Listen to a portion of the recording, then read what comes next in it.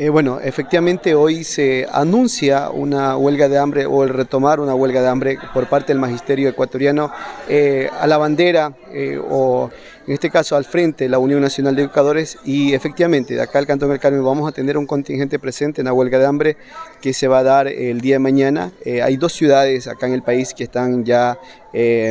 coordinada la acción que es Quito y Guayaquil. Nosotros como parte de la costa vamos a asistir a la ciudad de Guayaquil el día de mañana, que va a ser el inicio de la huelga de hambre, una huelga de hambre indefinida, en la cual vamos a tener compañeros docentes que, que están desvinculados actualmente, que no se está cumpliendo la aplicación de la ley reformatoria en una de sus transitorias, que exige al Ministerio de Educación que... Eh, vuelva a reincorporar a los compañeros que fueron despedidos en época de pandemia. Entonces van a haber participación de compañeros que están desvinculados, de compañeros docentes que estamos activos, de compañeros jubilados, de jóvenes estudiantes que también se suman a esta huelga de hambre que está convocando la UNE, porque hemos visto que esta es una de las formas que eh, la Corte Constitucional y el Gobierno Nacional eh, dan, eh, le prestan la atención del caso para que se respeten nuestros derechos, como es la constitucionalidad de la equiparación justa de nuestros salarios como docentes y también para que se aplique la ley reformatoria sin trampas. Es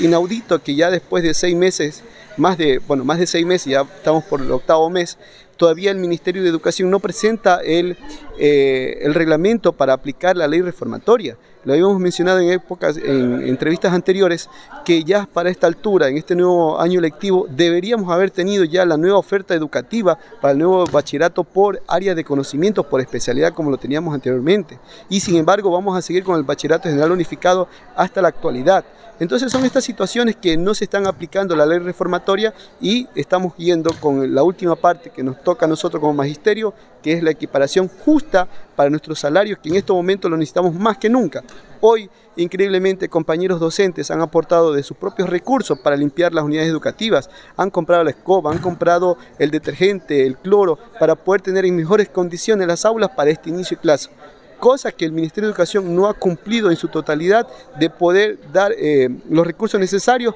para tener habilitadas las aulas después de dos años que no han tenido los estudiantes asistencia a la misma. Sin embargo, hoy somos nosotros los maestros que hemos estado poniendo el pecho a las balas con nuestros propios recursos que son escuálidos hasta ahora para poder tener en condiciones óptimas para el día 6 de mayo que inicia el periodo lectivo aquí en el régimen eh, Costa eh, Galápagos. Justamente a eso me iba a referir la pregunta. La vez anterior que ustedes hicieron la huelga de hambre en Puerto Viejo, que estuvimos presentes justamente también allá en la Casa de la Cultura de Puerto Viejo, eh, usted, usted más que todo lo hizo secuencialmente. Ahora que entra la actividad ya educativa, ¿cómo lo harían?